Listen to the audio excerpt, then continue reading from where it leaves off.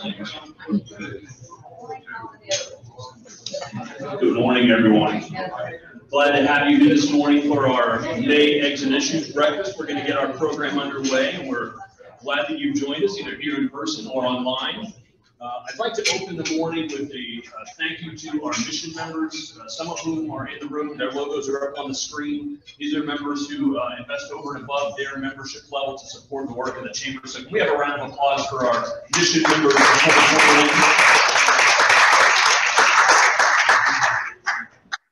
Glad to have you here for Eggs and Issues. Uh, those of you that are here in person, welcome. For those of you that are with us online, welcome to you also. We're going to go through some um, brief instructions for those of you that are online. If you'd like to ask questions via the chat function, uh, we will let you be able to do that. If you click on the More button with the little ellipsis above it at the top right of your screen, that will drop down a uh, menu. The first option there is the chat. If you click that, it'll open the chat box for you, and you'll be able to ask your questions, and we will get to them, as many of those as we can throughout the program. Um, with that, I'm going to introduce our MC for the morning.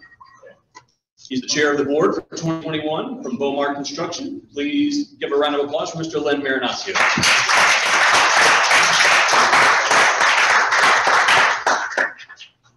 Thanks, Ken, and thanks everyone for joining us this morning for our Eggs and Issues program. As you can see, once again, we've got an audience in person and an audience that's logged in virtually as we at the Chamber continue to try and get us back to uh, what we're calling our responsible normalcy in meetings. Our program this morning will feature Dr. Barry Butler, president of Embry-Riddle Aeronautical University. In 1925, John Paul Riddle and T. Higbee Embry formed the Embry-Riddle Company to teach the adventurous to fly. That partnership has produced more than 137,000 alumni in advancing aviation and aerospace industries in our country and around the world. Today, we'll learn what their future expansion plans hold for Embry-Riddle, for our state, and for our community. But before we introduce our speaker, we'd like to recognize our elected officials either in person or online and provide an opportunity for some sponsor remarks. So at this time, I'd like to recognize some special guests uh, online and in person this morning. Uh, online, we've got County Council Member Fred Lowry. And here in person, we have Daytona Beach Shores Mayor Nancy Miller.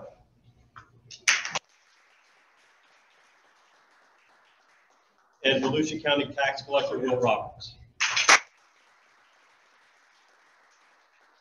Did I miss anybody who, who may have snuck in after we started here? Okay, good. Thank you guys so much for, for attending. We really appreciate it.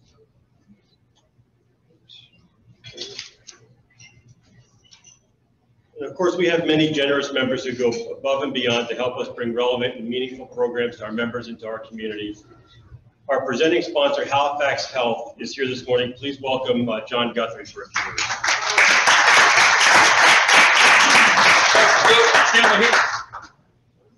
Stand here. Go stand right here. Good morning. How is everybody? So I have a question for you. Dr. Veal, the head of our emergency department, said we are not going to get past COVID. We are going to live with COVID. So do you guys like it when I tell you what's going on at the hospital? Because I totally don't have to. I'm tired of it. Do you want to hear what's going on or not? All right, I will. I feel like I've been labeled the face of COVID, but that's okay. Um, we have 19 patients today, which is way better than about two weeks ago because we had about 51. So we really did see a spike, um, probably um, due to all the reasons that um, that everybody's already pontificated about. So I'm not going to get into that, but um, you know it is coming down, which is good. We are still. We reviewed yesterday our masking policy, and I talked with Dr. Miles, our chief um, quality officer, and he said if you're vaccinated, you're wearing a mask to protect other people. So I think you know that's kind of the the way thing people are looking at things because we do it. We still don't know a lot. We still don't know a lot. And starting Monday, we will start um, making the vaccine available for 12 year olds and up. If they come, they have to either bring a legal guardian with them or have an adult with them and a note from a legal guardian. So that's it for COVID. Any questions about that? I want to move on to something else whenever I kind of think about what I'm going to say at these events, I think about what's relevant to today. And with Dr. Butler here, I think it makes sense to talk about our relationship in um, aerospace physiology. How about that? Aerospace physiology. So Dr. Karen Gaines, the dean of uh, dean at Embry Riddle of Arts and Sciences, and Dr. Miles, Steve Miles, our chief uh, quality officer, got together and started to look at the future. People going to the moon, people going to the space station, people going to Mars. And they created a program to create physicians and providers to be able to take care of those people. And that takes two things. That takes an understanding of aerospace, which Embry Riddle, there is no one better. I think we all agree with that. And it takes access to physicians.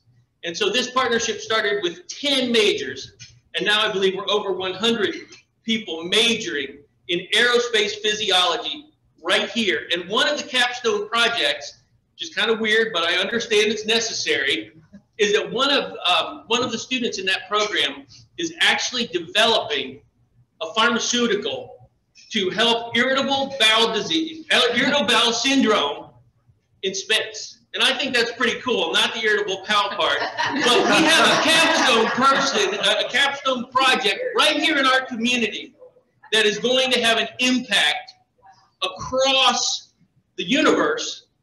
And I think that's important. The other thing I want to bring up is because of the relationships that we have, we are the contingency hospital. Halifax Health is the contingency hospital for NASA and SpaceX.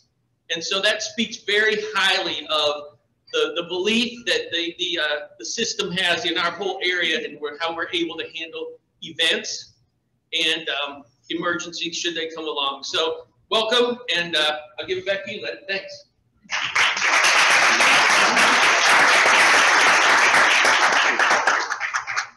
Thanks, John. I think that's probably the main thing I'm going to take away from this is the irritable bowel. Uh, our, our other presenting sponsor this morning, Daytona Beach News Journal, I don't see Diane or, or Clayton uh, here this morning, so we'd just like to, to thank them as always for the, the incredible job that they do in our community and for always supporting the chamber. So then at this time, I'd like to introduce today's speaker. In 2017, Dr. Barry Butler became the sixth president of Embry-Riddle Aeronautical University. As president of the world's leading institution of higher education focusing on aviation and aerospace, Dr. Butler oversees more than 34,000 students through its two traditional campuses located in Daytona Beach and in Prescott, Arizona, and worldwide through Embry-Riddle's state-of-the-art online campus. Under Dr. Butler's presidency, Embry-Riddle continues to expand its degree programs, offering more than 100 bachelor's, master's, and PhD degrees. The research park provides unique collaborative opportunities for students, companies, and our community to advance technology and provide the foundation for startups to grow by its technology-focused ecosystem in partnerships with aviation aerospace pipelines. Before his time at Embry-Riddle, Dr. Butler was the executive vice president and provost for the University of Iowa. He earned his bachelor's and master's in aeronautical and astronautical engineering and a PhD in mechanical engineering for the University of Illinois at Urbana-Champaign. Please welcome Dr. Thank you.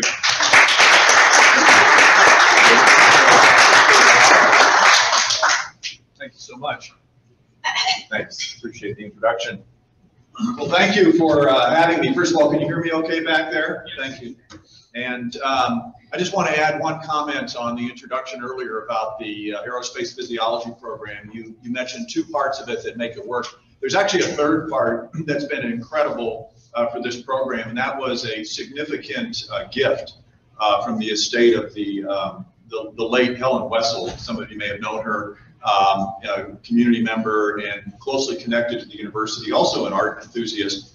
And because of her support, um, we're able to give significant scholarships uh, specifically to women uh, going into that particular area. She had a she had a real passion for encouraging young women to get into the sciences, and she loved Embry-Riddle. And so that's a significant piece of what philanthropy has done to what you mentioned is a significant program. So I just wanted to add that in there. The other thing I want to add in is that, um, you know, you heard the history of Embry-Riddle back in uh, 1925, 26 when it was founded. Uh, I think another significant point in time that's important to this audience because of the, uh, the business nature of it and the economics of it is that um, in the mid 1960s, many of you know, uh, it was um, located uh, in Miami, the Miami area, and was relocated to Daytona Beach. There's a lot of great photographs of, of moving the entire university over a weekend in the back of some of your uh, predecessors' trucks and local businesses and things like that. And I still look at that as a, a moment in our local history here in terms of um, visionary people that looked at the impact of a university like that on the community. Now, on day one, it wasn't like it is today, but but people had a vision for the future, and those individuals really need recognition. I've met a few of them. I know um, many have passed away since then. I've had a chance to meet some of them during my short time here, uh, and I just thank you know over and over again. I said that that that that was quite a vision to bring it here, and secondly, to put it at the airport. Um, many university presidents would cringe at the idea of putting the university at an airport. I, in fact, I think probably all but me. But um, but it was an amazing decision, quite frankly, and it, it what it's what really sets us apart. And you'll see some of that when I talk about some of the businesses that are growing around us um, because of talent and because of location and because of the business climate around here is being so, being so positive. So with that, let me just uh, go through here. I'm going to set a timer so I don't I don't go overboard. I want to make sure I I'm sorry about this. I just like to do this as a way to respect your time. Um, let me start with uh, just a few things. I'm really here to focus a lot about the um, growth and expansion that we're experiencing and um, try to tie it in a little bit with number one, the current state of where we are as an institution, but also the impact of the last year on us. Uh, you've probably seen headlines out there about the impact of um, COVID on higher education. Uh, it's taken a heavy hit on a lot of schools, many schools. Uh, we're not in that category. We've actually done incredibly well uh, over the last year. We've had some significant, um, you know, growth in enrollment. Uh, we've had great financial success. We've had two bond rating agency reviews in the last six months, and both of them have given us upgrades, uh, both uh, Moody's as well as um, Fitch, which is highly unusual this past year for higher education. A lot of it's got to do with just good, uh, we have a great uh, senior financial person. The other person, before I go too far, I want to recognize right up front here is Rodney Cruz. He's our Chief Operating Officer and Senior Vice President. And a lot of what you're going to see here is, is his responsibility, and, and he's made it happen. So I'm just the, I'm just the voice. Uh, but Rodney is Um, I had a chance last week, thanks to Congressman Waltz, uh, to uh, be part of a congressional uh, testimony on the National Science Foundation's budget. Uh, they're looking at growing that agency, and um, it's widely regarded as a standard for um, you know advancing science. You may know the history. It was actually started right after World War II as a way to get universities, industry, and the defense group all kind of working together and advancing science and the basic uh, basic science, basically. What I spoke about at that point was though the role of smaller universities like Embry-Riddle, and I would classify us as smaller. While we have 34,000 students, our residential campus here is around 7,000 this year. It'll probably be about 7,400 next year uh, in the fall. That's what we're projecting right now. That's still small by the standards of what you would consider the big research engines, uh, the, the UFs, the FSUs, places like that that are that are just you know they're they're large research intensive universities.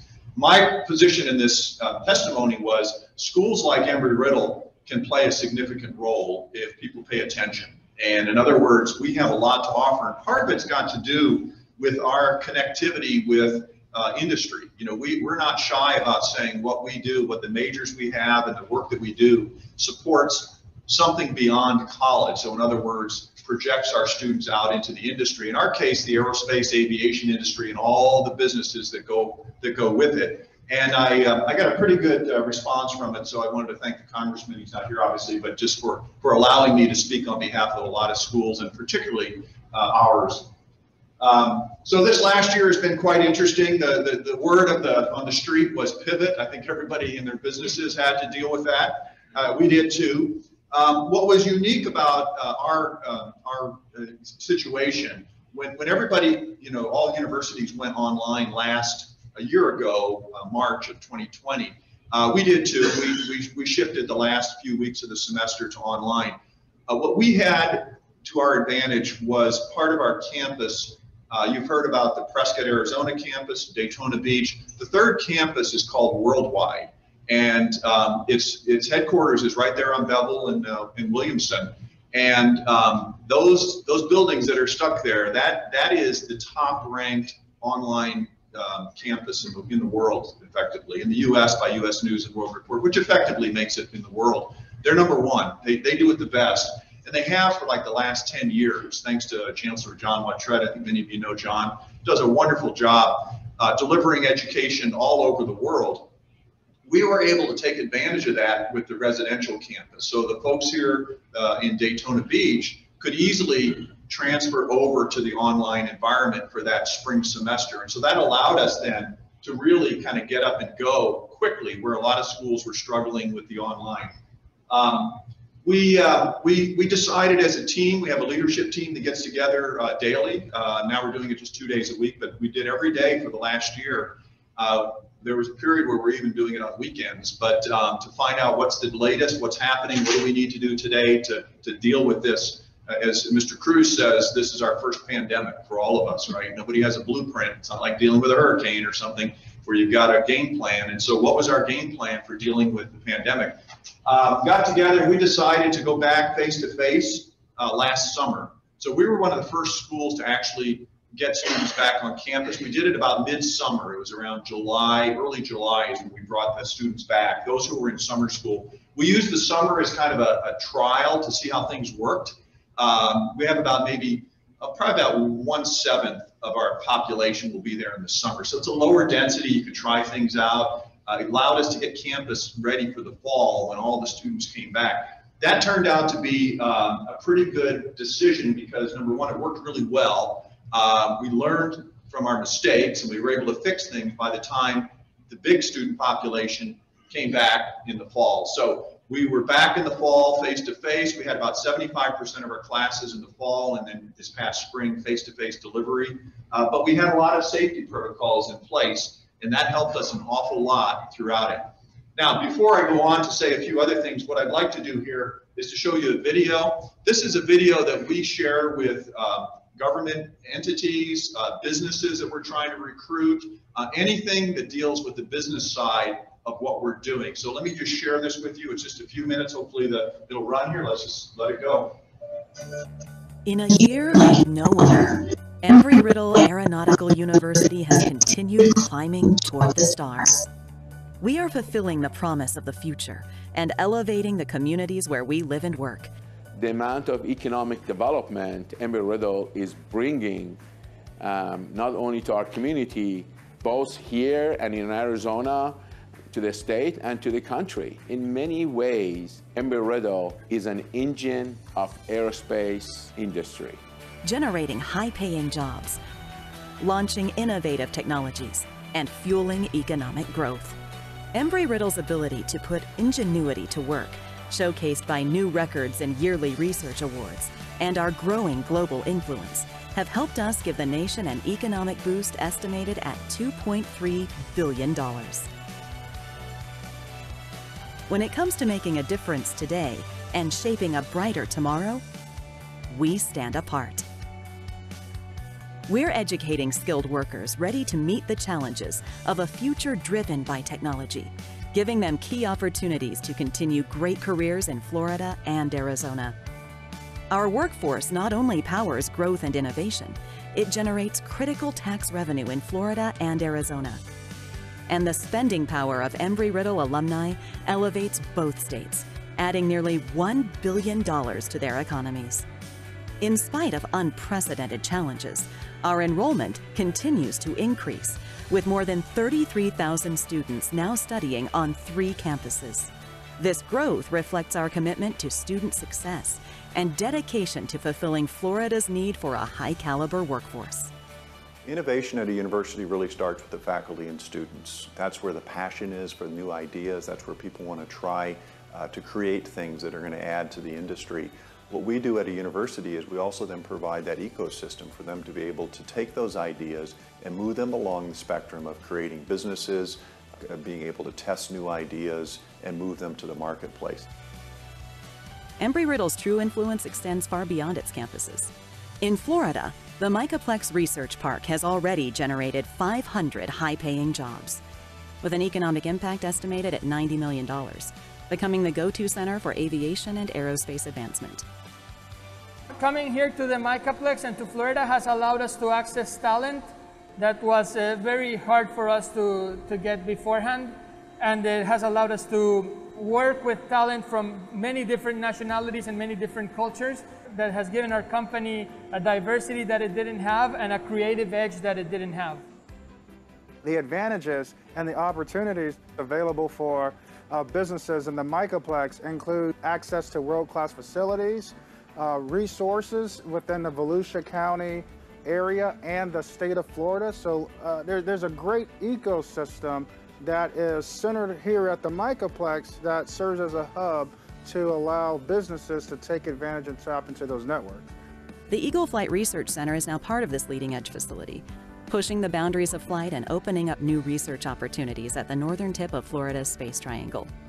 Training tomorrow's workforce, elevating innovation, fueling economic power. Embry-Riddle is the global leader in aviation and aerospace education, a key industry partner and a vital part of every community we serve. As we look to the promise ahead, we can say with confidence that at Embry-Riddle, all systems are go. So I hope I gave you sort of a brief overview of some of the things that are going on. I want to share a little more in depth here, in just a few minutes. Um, but um, this photo actually says a lot about why we are today, you know, where we are um, compared to what happened over the last year. One of our students, um, you know, we, we talk about student success in a lot of different ways. You talk about their academic success, their job placement, all of those sorts of things that you typically think about as a college student. Um, one area, you know, when we started this year, uh, we, we asked the students to be a part of the solution. We really did, as well as the staff. And I see athletic, athletic director JP John Phillips back there as well. He did the same thing with the athletes, you know, trying to get everybody on board to help us get through this. And uh, this is a statement here, and it's really, it's, it's beyond academics. In this case, it's compliance. It's getting young people who understand they're, they can be part of a solution. Um, and they really did step up to the plate, and I just want to recognize the students uh, for that because um, it was a difficult year for students all over the country, quite frankly. Uh, but as I told them back in August, um, focus on things that you can influence, not on things that you have no control over. And they did. They stepped up and they did what they could. So I want to recognize our students as well. Um, that's what campus looked like back in uh, August as we got back to school, a little different from usual. Those uh, skateboarders have their masks on and their um, you know, books in their hands and coffee and everything else, but they're um, they're trying to stay uh, safe, and they did. It was a pretty good year. We had a very low uh, incidence of infections, and uh, just to give you one statistic uh, to to kind of think about, from the time we opened last summer until now, uh, we have accumulated 130,000 hours of flying and simulator time. 130,000. That's about the, if you look at airlines, that would be like a mid-sized regional airline, what they would fly in a given year. So it gives you a perspective of how many hours uh, we've been flying. Those are close environments in a, in a flight deck or in a simulator. Uh, but again, it it uh, it was with safety as the as the first priority, and uh, they did an amazing job. It's a little hard out there when it's 95 degrees and you're standing out on the ramp doing a pre-flight on an airplane. You got a mask on, but they did it. I mean, and, and now it's starting to to relax, and so I think that was the reward that they're seeing. Um, the programs do incredibly well. You know, as I mentioned before, our worldwide campus um, continues to have the number one ranking by U.S. This is kind of our standard. All your businesses have your own sort of ways of, you know, rankings and ratings. Ours is U.S. News and World Report. That's one of a hundred that rank, but they're they're really kind of considered the the top standard now.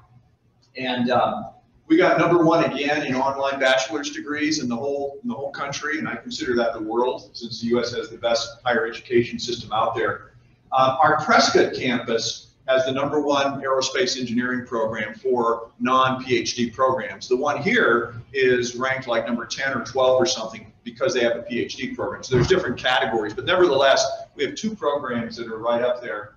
Um, for I think the sixth year in a row, our our um, online degrees for veterans have been ranked number one in the country. That's pretty significant. Um, about half of our students enrolled in worldwide are are in the military or recent retirees. using the, the VA benefits. So about 12,500 uh, military personnel are taking our programs. Another fact that I looked up that's pretty interesting, um, in the United States Air Force, at any given time, I think there's 225 uh, general officers, anybody from a brigadier general up to a four-star. And uh, we, we did a quick survey recently, and of, of those who are active or re retired within the last five years, we found over 100 of them with an Embry-Riddle degree. And 100, I mean, 100 general officers in the United States Air Force uh, with a degree from Embry-Riddle many of them had them through the worldwide. In other words, they got in the service and then they, they knew they were on the fast track and they got a degree through our worldwide campus. So that's a pretty significant number. Um, you know, the online piece, as I said before, is pretty significant. We, we trans transitioned pretty quickly. The other one I want to mention just quickly is our, our uh, business program, online business program is, is ranked number 10. And so it's moving up, it's moving up the ladder. And that's, I've asked the dean of that college to get it up to number one here in the next few years. And so that one's doing incredibly well. Uh, the outcomes are, are pretty significant in terms of uh, placement, jobs, salaries. You can see some of the numbers there in terms of what the students get. This last year has been a little down like it's been everywhere. The message right now is it's picking up pretty quickly. Um, you know, at any given time, uh, we hire, uh, we, we employ about 200 flight instructors uh, for our for our flight program. That's a, and that's about a quarter of the university. So about 200 instructors, and that's usually the pipeline from there before they go off to their jobs in the airlines or commercial or whatever they're going to do. Uh, that's slowed down to a, a nothing, uh, you know, during COVID. Um, right now, right now we're expecting to lose many of those this summer, up to 40 or 50 of them because of the hiring that's starting up again. So that's a good sign for everybody. I think it's uh, it's kind of our early sort of early sign that things are moving in the right direction. I want to shift gears and use the remaining time to talk about the business piece of it here because this is really important. Uh, you heard about the Micaplex in the video. Um, right on Clyde Morris there, and, um, and as you drive, just uh, basically between the parallel runways at the airport. Um, I arrived in 2017 and we cut the ribbon like a month later. Within a couple of years, um, this thing was full. Uh, we have uh, significant occupation. One of the companies is right here. One of our companies from day one, Van Data Services here in the front row. And uh, Todd, and, uh, and we appreciate you guys being with us from day one. So it's, it's been a good, good partnership. But there, um, that place is doing incredibly well. And what I want to talk about now is sort of our growth plan for the future and a little bit about some of the businesses that are there. You heard some of the numbers. I won't go through them again. One of the things to mention here is we're growing. We're building another building. I'll show you a picture of it here in just a second. And we have plans. You saw it in the video. There was a, a rendering of another building we're looking at for the next couple of years, and that would be the uh, Entrepreneurship and Innovation Center. And that, if that goes up, it'll be right there on Clyde Morris as well. So that part of town is going to be significant. You saw this. This is from an independent outside group, Washington Economics Group. We we do this every few years. The uh, looking at the economic impact of the entire university, and then we segment it out to Florida and Arizona. Arizona campus is about half the size of Daytona, and it does not have the research park that we have here. So uh, you get a sort of a you know sense for where, how that works. Uh, this is a rendering. Uh, excuse me.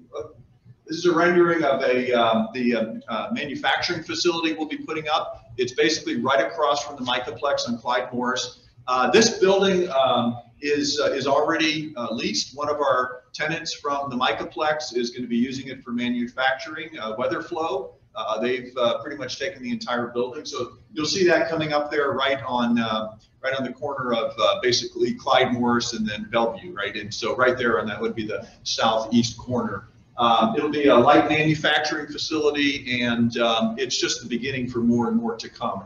So it's kind of nice to have a building kind of taken over before you before you put a spade in the ground. I think that helps uh, helps in a lot of ways. But it's nice to see that. The one thing that had, that a lot of these businesses have in common, um, I think when you look at them, and I'll share with you a few of them that are there now. Um, there, there's a, there's sort of certain factors that come into play. I think when they make the decision to move here. One is the business climate here. So, you know, sort of, you know, some of you folks that work in the economic development side, you know, attracting businesses here is, is not that difficult. You, you know, it's a good business climate for people. Number two, um, really is the talent, access to talent. Uh, these places need good people And when we walk them on campus and say, look, you've got 7,000 students here that would love to stay in Daytona Beach, um, they, they don't even have to move in their apartment. They just go to work for you the day after they graduate. That's really attractive to have that talent readily available uh, for those businesses. And that's played a pretty significant role. The third piece is the facility. So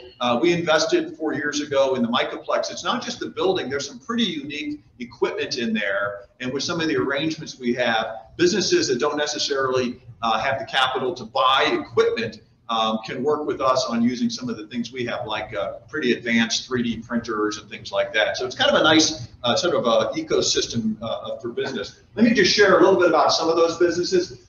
What these four have in common here, uh, these are all uh, businesses with international uh, bases, international headquarters, but have a base here at the MicaPlex or in our research park. And I'll, I'll share a little bit about that, each one of these and, and, um, and what they've been doing. So the first one, uh, SeaMax Aircraft, uh, this is basically a Brazilian company making ultralight um, amphibious aircraft that you see here. Uh, we work with them um, in terms of uh, design work, composite materials for future aircrafts, and some some simulation type work for um, you know the aerodynamics and how they fly and land in water and things like that. So again, having access to talent, people who know that uh, that that material, uh, it's right here in town, and so that's kind of a nice one.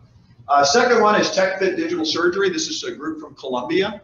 Um, and uh, it's a biomedical type devices, implant type devices. You see a few examples here, uh, both in terms of a cranium type calf and then also a kind of a jaw type thing here. Uh, what's unique about this is uh, you think, well, that's not really aerospace, but a lot of industries sort of have spun off from technology that has come up through the aerospace uh, uh, world over the years. We all hear about, you know, Tang and astronauts and NASA, but there's a lot of, of real technology. Example is anti-lock brakes in your vehicles. That we take those for granted nowadays. But if you look back at the history of that, uh, it was really an aerospace technology evolved, worked its way into vehicles. Um, a lot of things like that. Um, vehicle airbags, for example, came through the rocket industry because of the propellants and that. So again, here you have, um, you know, aerospace industry, a lot of additive manufacturing. That's that's that's you know techno speak for 3D printing, basically. And so you have devices that are able to be printed um, for, in this case, implants. And so a very very good example of how you can use the aerospace sort of technology. Uh, PrintTech is again another one that's there. This is a UK-based company, basically making uh, circuitry for satellites. That's what you see there in that uh, on that on the right-hand side there, specialty type circuit components for communication satellites. And then Arralis, this is also uh, this is uh, have their headquarters in Ireland. Uh, we met with them actually three years ago, I think, at the Paris Air Show. Uh, group was was there and talked to them about relocating in the U.S. and ended up getting them into the uh, Daytona Beach area. They make also specialty type communication devices for satellites, as well as precision landing aircraft equipment. So when aircraft are, you hear about planes being able to land in sort of almost zero visibility, it requires very high precision type uh, electronics, and there that's kind of their, their specialty area couple of others that I want to talk about, these in terms of just uh, companies that are kind of fast growing. And um, so we have different levels of businesses, you know, in terms all the way from entrepreneurial startups, people that have located a US base on our campus, and others that are just sort of in that transition uh, on their way up. But these are three that I just want to mention quickly. Uh, OneSky, what's unique about this is a lot of different products. They're part of a larger consortium, uh, but, but the, in this particular case, it's access to talent who understand data, data science. There's a, primarily in the business jet, the private jet area, but there's a lot of information related to optimizing flights, fuel requirements, scheduling, uh, pricing, all these sorts of things. And like any of your businesses, uh, access to data and having people who understand how to take those data and use them to better your business. That's kind of what they have here is really a kind of access to the software talent that we have. Uh, WeatherFlow, we mentioned them earlier in terms of these devices. You'll see some of these actually on the roof of the uh, for testing. And then the manufacturing is going to be across the street in the in the new facility. Um, again, a business that that is um, doing quite well and moving in the right direction. I think they have about 10,000 of these products out there now uh, in the uh, out there. This one here is a is a Vertigo Aero. This is basically Um, you've heard a lot about electric aircraft and uh, urban mobility vehicles. Those are some buzzwords for, you know, sort of the next phase of aircraft that might be coming out there. That will be coming at some point. In fact, they're already doing in um, in uh, in some of the Brazilian cities, some of the Sao Paulo, for example. You know, urban mobility, getting people around from point A to point B, uh, kind of the Uber of the sky type type model in very congested areas. Um, in terms of electric propulsion, uh, this particular group here um, is looking at not necessarily the vehicle itself. That takes a lot of capital to get into aircraft construction and, and manufacturing, I should say, but more the propulsion and some of the control logic. So it's sort of producing those devices that will go into these things. Uh, I want to mention just quickly a couple of others here. Um, uh, Sensatek, Censys, GRD Biomechanics, and uh, Modularity Space. Let me just share a few things. You saw uh, Raymond here on the video. Uh, this is a guy who was in the Marines. He was uh, getting his master's degree with Embry-Riddle. Um, I attended his commencement, which was at the uh, Pensacola Naval Air Station at the museum there. I shook his hand when he got his master's degree, and he he turned to me afterwards after the ceremony. He said, "I'll I'll be in Daytona um, next week. You know, we're moving there. We've got the business set up at the MicaPlex." He started really with an idea. It's got to do basically with sensors that go in gas turbine engines, whether it's on aircraft, power plants, you name it, anything that's a rotating type uh, uh, power device they make a sensor for monitoring temperature.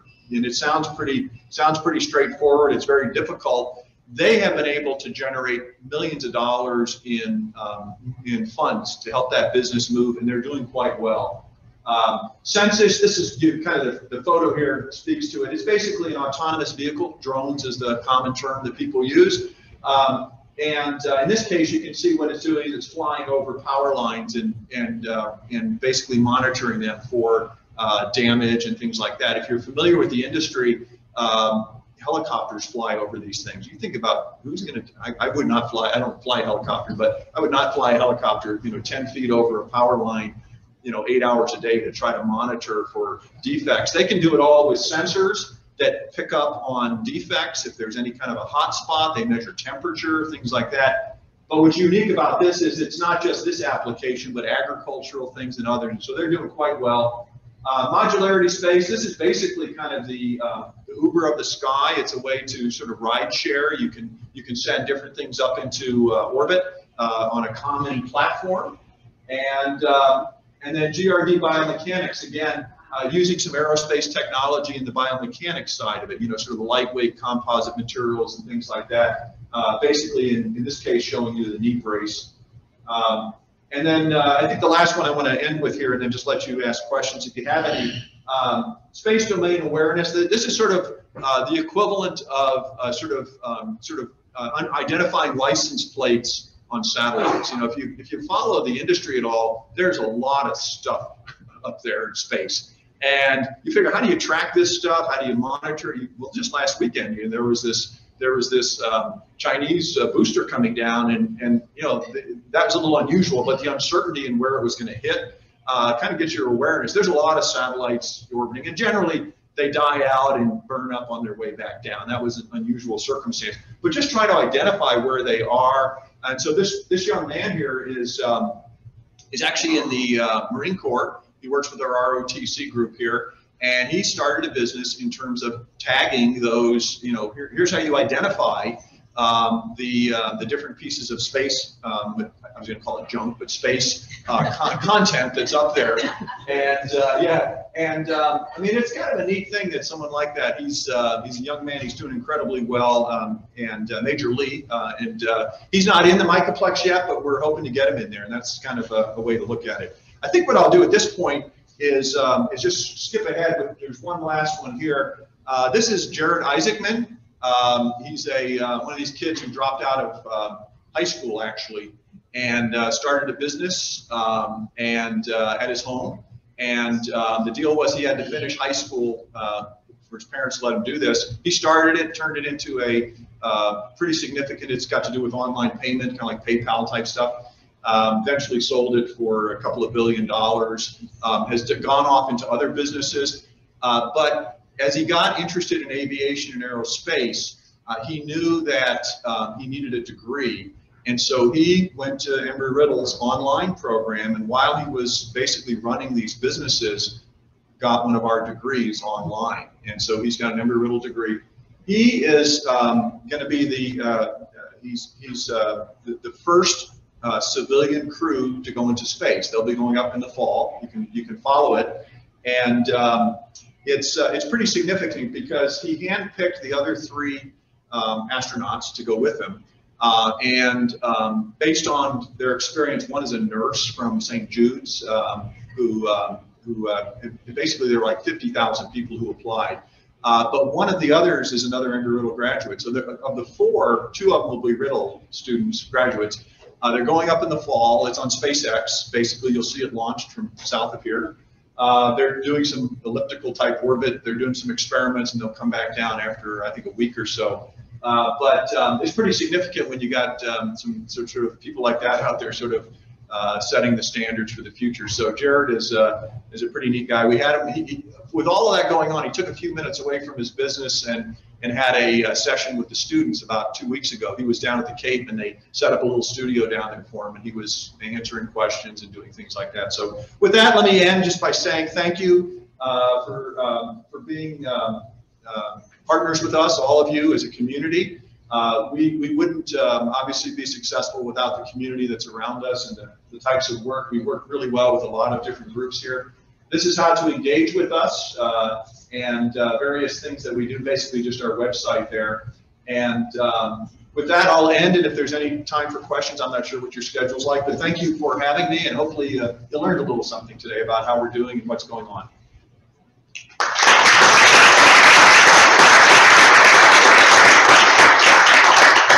Dr. Butler. I guess we didn't have any of the, of the little cards come up, but we can just take questions from the floor if anybody has them, if you want to. Sure. Anybody has any Happy questions to. you want to ask for, for Dr. Butler this morning?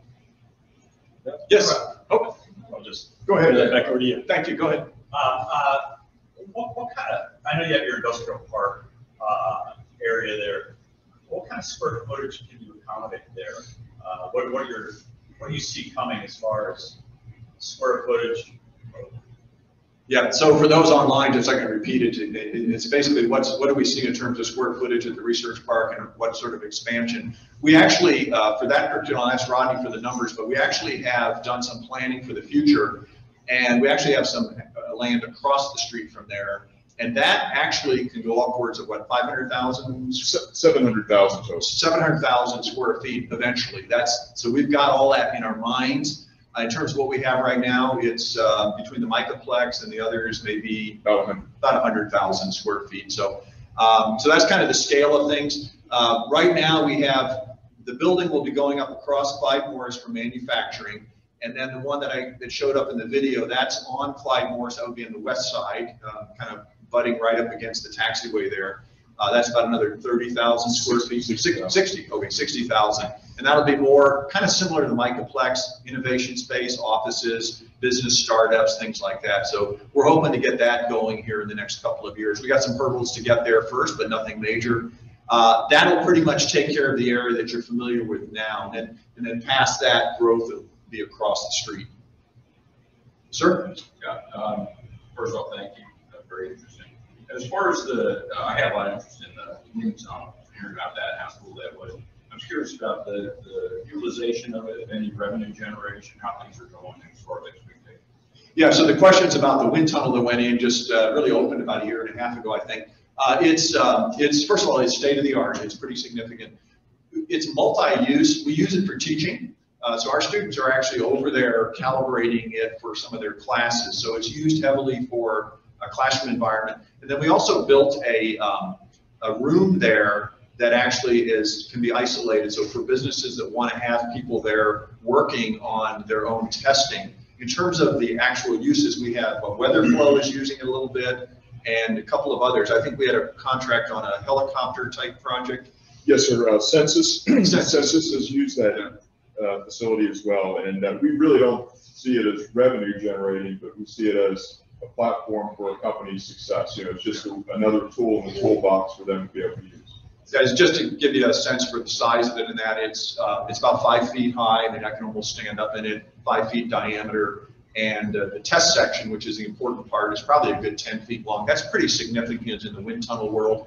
But more importantly, the the flow, the airflow that goes through there is um, is is very well maintained. So uh, you can you can keep low turbulence, which is very important for some experiments. A lot of really good diagnostics in there, and it can go up to about um, kind of around maybe 200 miles per hour, maybe in terms of wind speed. So it's a pretty significant piece of hardware. Yes. Do you have a deep relationship with SpaceX and Elon Musk? So um, we, the question was about SpaceX and our relationship with them. So I, I, I looked online recently. Short answer is yes. Um, not with him personally, but uh, we, we, we, keep trying. but um, the uh, I looked online recently. Um, uh, LinkedIn does these business surveys periodically, and they listed uh, somebody had written so you know what schools do they hire from, and I looked it up the number one school was the University of Southern California, which if you're familiar, Hawthorne is right pretty close to USC. That's where their facility is for um, both their, their um, control room as well as all the manufacturing. But um, second on the list was Embry-Riddle. And uh, we have something like, I want to say 175 um, uh, people from Riddle who work there. Um, third on the list was like uh, Michigan or some of these little places up north there, and then, you know, and, uh, and then on down the line. And so I, I, was pretty proud of that. I mean, it was pretty significant uh, to have that many people um, at a place like that. Uh, we've invited him uh, for uh, commencement addresses, and we'll keep at it. Um, obviously, a pretty busy guy, but um, I, I would tell you if, if I was able to succeed on that, I think our students would uh, carry me around campus for. Uh, they're, they'd be they'd be very happy. Let's just say. Well, listen, thank you so much again for all that you guys do for helping us. I know our relationships with the community is strong and we appreciate it. And we're going to keep doing our part. Uh, it's a great community and uh, we know the importance of of getting these businesses going and um, hiring people and contributing to the economy around here. So thanks a lot. Have a good day.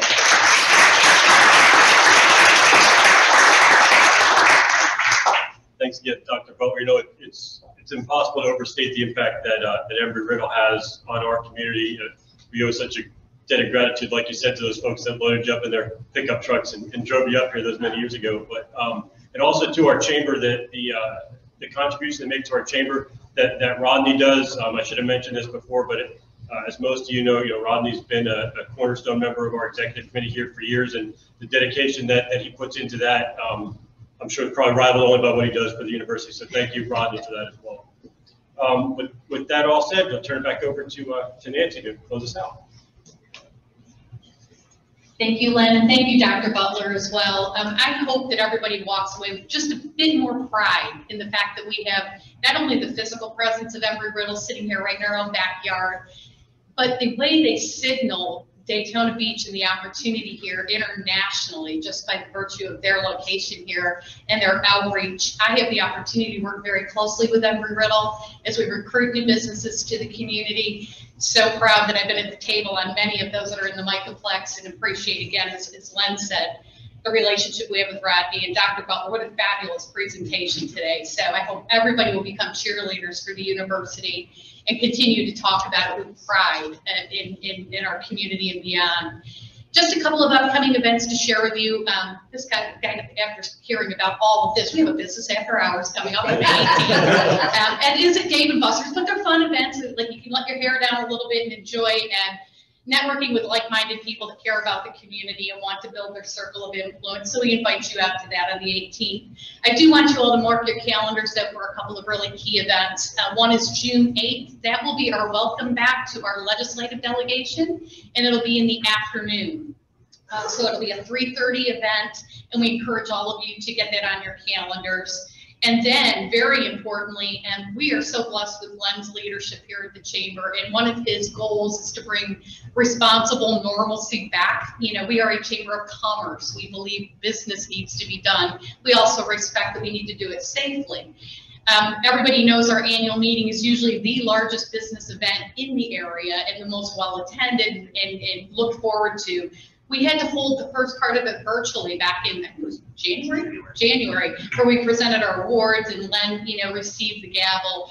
But one of the most important parts of that is the social and the networking, us getting together face to face. So we are doing what we're calling extra innings in July 22nd. Everybody that's been a part of our annual meeting as sponsors, anybody who isn't can come as an individual or as, as a corporate table. We're going to be over at our ballpark and we're going to have a great networking opportunity. We will revisit our awards, we'll revisit uh, Len's leadership and uh, past leadership of Bob Lloyd. So come on out July 22nd. It'll be casual. It is going to be outdoors. And so, and, and some of us are even going to be wearing our favorite team um, jerseys. Some, some of you will be able to guess what mine will be. Um, but anyway, we invite you five to eight, come on out, and we're so honored um, to continue to bring back events in a, in a, respectful way. My guess is that our chairman is going to start ripping the Band-Aid off of, of the virtual piece of it, at least in this hybrid fashion. We want to get people back together because obviously being at the table and seeing all of you is really important. So thank you all. Have a great week, and, and your Chamber of Commerce is here and available to serve you. Thank you.